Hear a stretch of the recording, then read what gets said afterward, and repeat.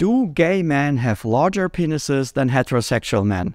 This was frequently claimed in the comments of my video about normal penis size. But is it true? Do we have any data to back that up? In this video, I will report to you all the data that I could find about that topic. My name is Stefan Buntrock. I'm a board certified urologist and sexologist. My personal professional opinion is that there are no differences in penile size between heterosexual men and men who have sex with men.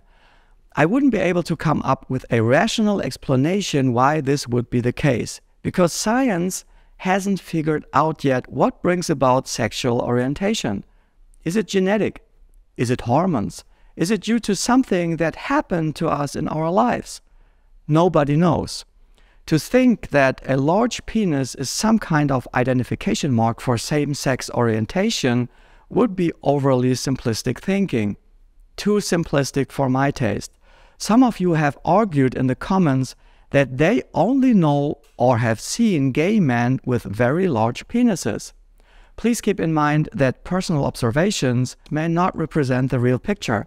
Depending on where you see these penises, there may be a selection bias. One could hypothesize that penis size is very important within the MSM community, so that men with very large penises are more likely to show what they got or go to places where they can show off.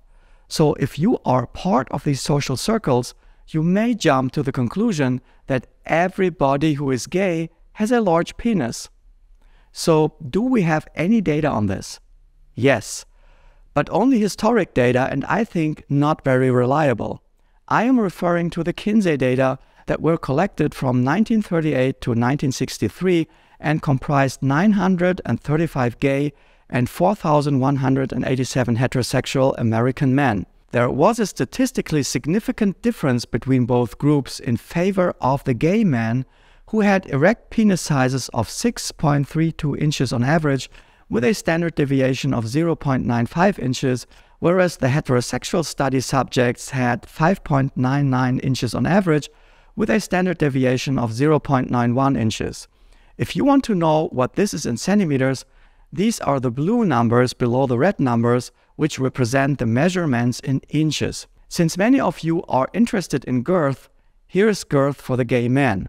4.95 inches erect with a standard deviation of 0.69 inches, and for the heterosexual group, it is 4.80 inches with a standard deviation of 0.72 inches.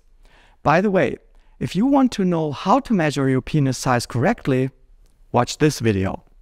So what are my problems with these numbers? First of all, they are based on volunteers.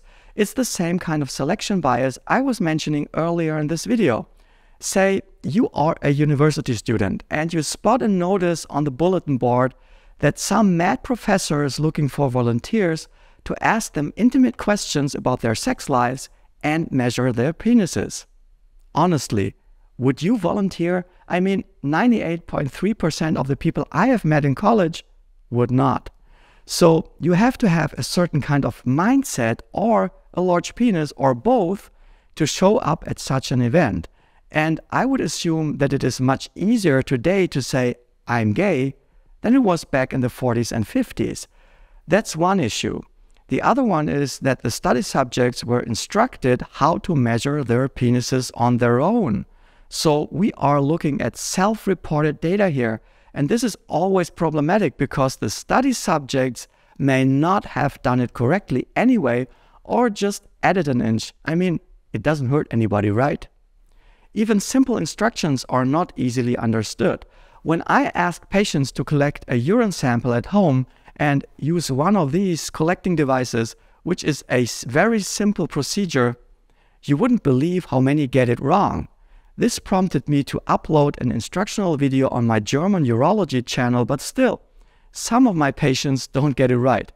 So there's uncertainty even with a simple procedure like measuring a penis.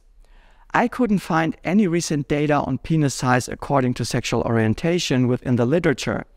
This is due to limited interest of the scientific community in anthropometric measurements and the difficulties in putting a decent study design into practice. Sexual orientation is recorded sometimes, but I couldn't find any results worth reporting here.